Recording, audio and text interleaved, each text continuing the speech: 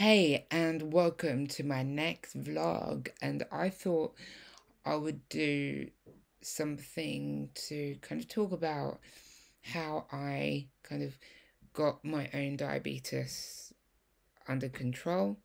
Um, and so I thought I would just kind of relate and just talk about it. And also, just to make a disclaimer, I'm not medically qualified to say this information, is because everybody's version of being diabetic is well very different. So if anybody's looking for any specific information about how to handle stress or having like a situation that have happened and their glucose goes up um this is how i did it for myself and and also um go to your doctor for any other guidance or or permission or whatever to um say like just guidance for you. And so don't take my information as bible. So anyway i will explain everything and here it goes. As you may notice i'm in another room. Um the thing is there is noise kind of going on and and I wanted to be in a room where it's quiet. So, um, yeah. So, how I became diabetic. So, I'm gonna do a very kind of short and to the point version, but if you want to know more about how I became diabetic, I will possibly link um, um, one of the videos that will explain more in detail about how I became diabetic.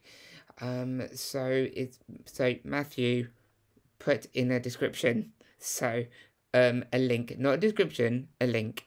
Um, that down there. So so that if you want to know more about my story with with being diabetic, di- diabetic, um, there will be a link somewhere down there.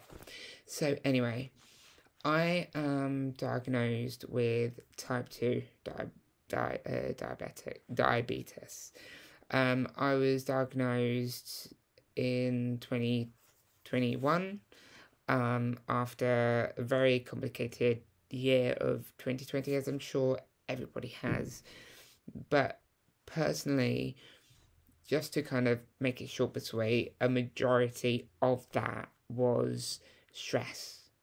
And stress can contribute to somebody's kind of development of or developing diabetes because in my situation I, I was having a lot of things happening in the space of short of a short time. It wasn't like one and that one situation and then the next one. It was literally do do do do do do do do do every single month near enough um, and kind of having to deal with that.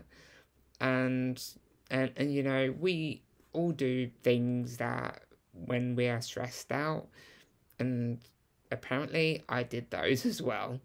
Um, but I was very healthy person. Um, uh, you know, I'm active. I work out three days a week.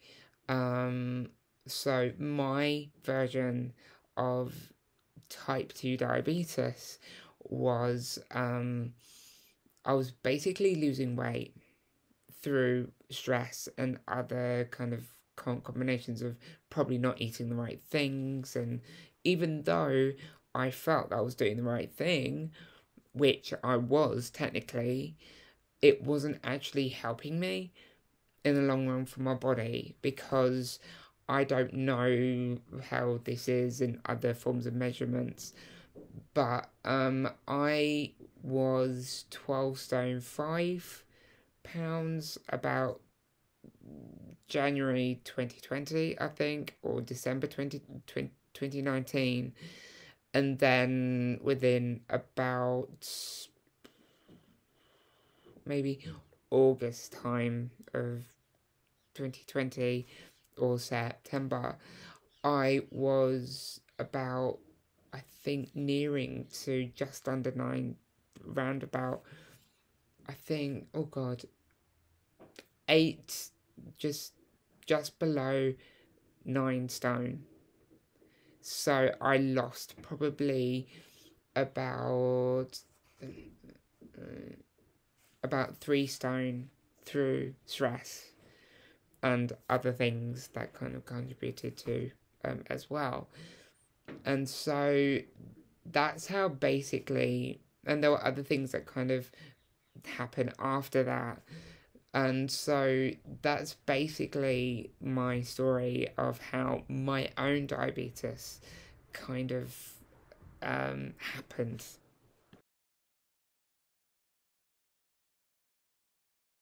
Yes, I am healthy technically, but me being healthy, like I had, like, as I say in the other video, I had a typical view of of somebody who thinks what a diabetes person looks like. Like I thought, well, I'm not overweight, so I'm not diabetic. That's not strictly true. So, it diabetes can attack whether if you're thin, skinny, athletic, um, overweight, whatever. It can still develop in one's own body. So, um, so with my own kind of diabetes, I had to, uh, you know, see what foods I could eat, but without making my glucose go up. And you would think, obviously, it's easy. It's not so much when when you are kind of skinny or skinnier, um, and you have to put on weight, but without making your glucose go high. And that's actually really hard to do. So that was basically my whole kind of journey of building up my own strength and stuff. And now, gratefully, I'm I'm at a healthy weight where I should be for my height and frame. So that's pretty much my own kind of stuff. So what I've been eating, I've been eating avocados, salmon, black bean pasta, which is you wouldn't really think, but actually it really does help. An edamame pasta, any pasta that's um made out of vegetable basically, um that I found really helps my body and my glucose in in order to get back into line, and um so doing that and kind of obviously doing trial and error, but the only simplest way that I can explain it is to um, anything that looks fun, don't eat. Um, if there's anything that doesn't look fun, you have to eat. Yeah. But some healthy things can can, can be fun, but anything that basically looks white, you don't eat or eat a very minuscule amount. But the only thing that really helped me with this is is a book and an app called Carbs and Cals, and that will that's been my lifesaver the whole time because I want to go back to how I used to eat, but not to the same quantities, obviously. But um, this uh, book really helped me kind of understand um, carbohydrates, what I should eat, what I shouldn't eat. But if I'm eating certain stuff, then how much I should eat of it and how much I should eat more of the healthy stuff. So, how did I get my diabetes under control? Um, it was a kind of a long process. Um, I unfortunately had a really bad experience. Um, actually, experiences again after. Well, I've been studying. Some of you may know that. Um, I've had other situations which were not nice to face, and I wouldn't put that put put put them on my worst enemy, or give them to my worst enemy. Um, and all of a sudden one day I, I thought, look, I know that I'm not supposed to test my glucose, but I've got a feeling, well, because I've been under a lot of stress lately, and I may have been eating stuff that I shouldn't, and I think I should kind of kick that into touch really. So I did make my did my glucose, my pin pricking test, as I would have normally when I was on the medication gliclazide. Um, unfortunately, it was 17.0. So, just to explain, um, the healthy range for somebody who is diabetic, for somebody with glucose, is between 4.0 and 7.0. I was 17. That's not good. Um, so I was stressing out, I was freaking out, did not know what to do. So I've just been, uh, you know, taking my medication as normal and um, changing my diet a bit and kind of getting back to how I was before, but not entirely because obviously I didn't want to lose weight. So I was still eating salmon, avocados, um, fruit, well, fruit and veg, and kind of keeping all of that in check and eating other things as well that I thought would work. Unfortunately, didn't work, and then there were some things that did work, and so but the thing is, I can't say what they are because everybody's body is very different. So, again, I was following the Carbs and Cals book like it was the Bible. And so, um, it took me about maybe a week and two days to get it right, I think. And so I still have a little bit to do.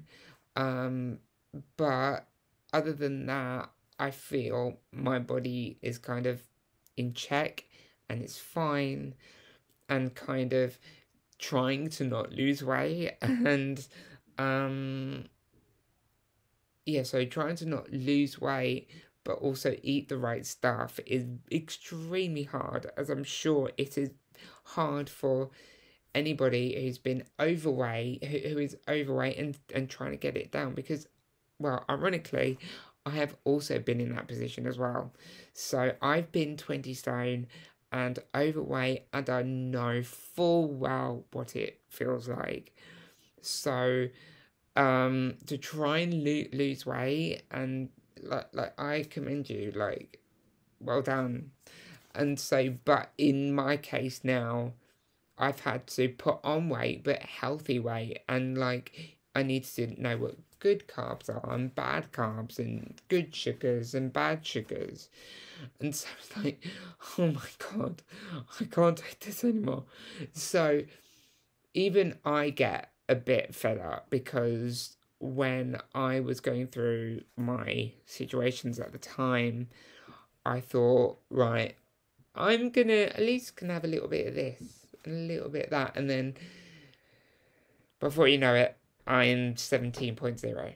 So, so like stress can kind of indirectly kind of affect a situation, not be like the total cause of a situation, but like be uh, be like the one of the contributors of of diabetes and not being helpful really.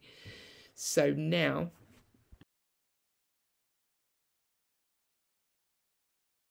the conclusion. So, how did I do it? So,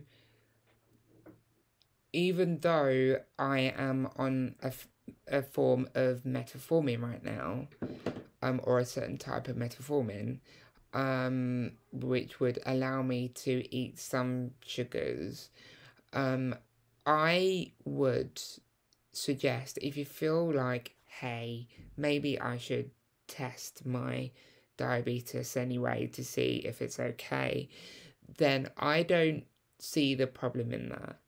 As long as you're not doing it obsessively, because stress on stress can also kind of contribute to diabetes going up anyway.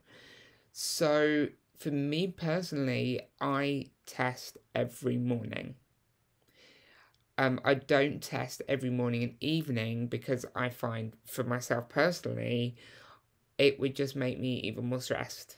And so, and so I did that and it seemed to have helped.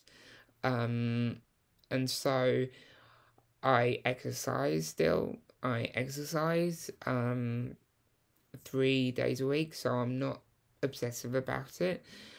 And to kind of slowly incorporate, like as I said earlier in the vlog, like salmon, avocado, and like bread if you can, or like um if if you're in my position, um because that's what I've had to do, um, and so like fruit and veg and and and do the foods that you feel that you can eat. And I would thoroughly recommend following the carbs and cals books and app or app because that really saved my life literally and helped me to get back to where I am now because I because before my situation I was on my my readings were literally 4.0 to 7.0 and probably a little bit over but that's fine.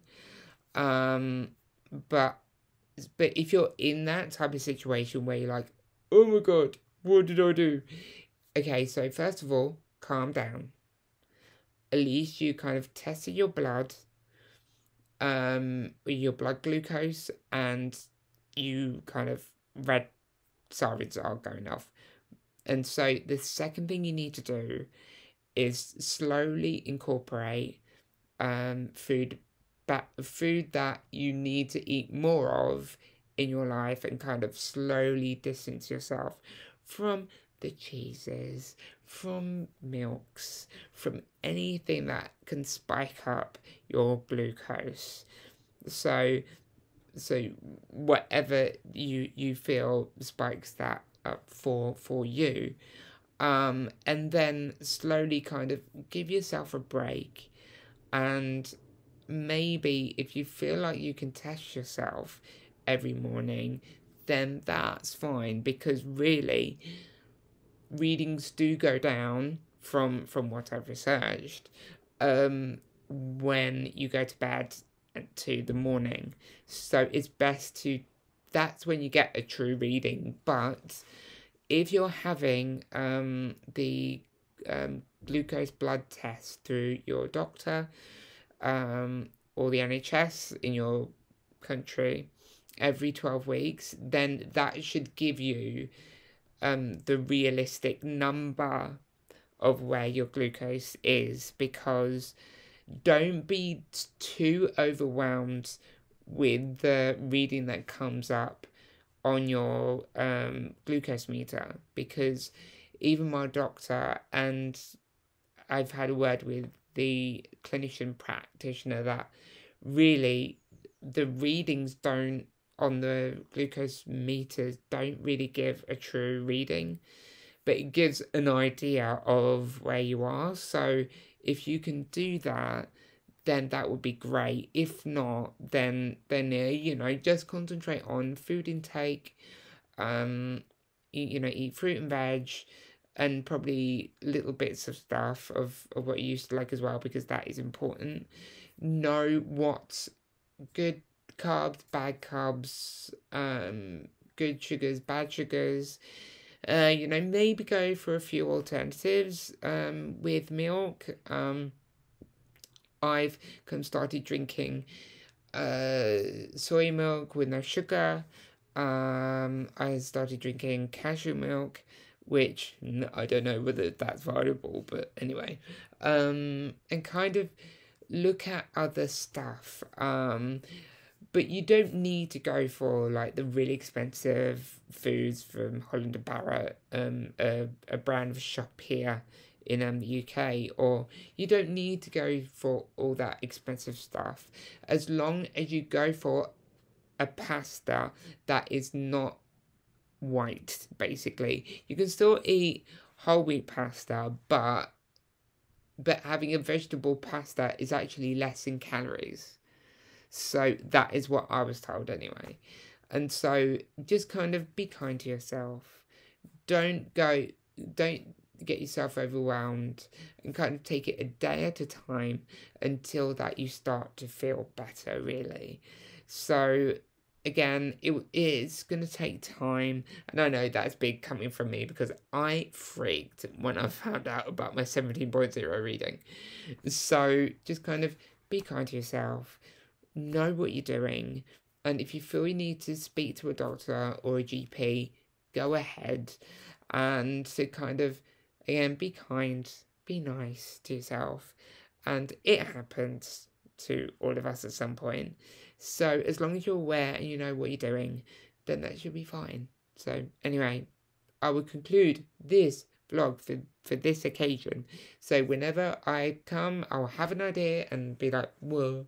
So, um, yeah, so hope you're well. Take care. And I'll see you all soon. So bye.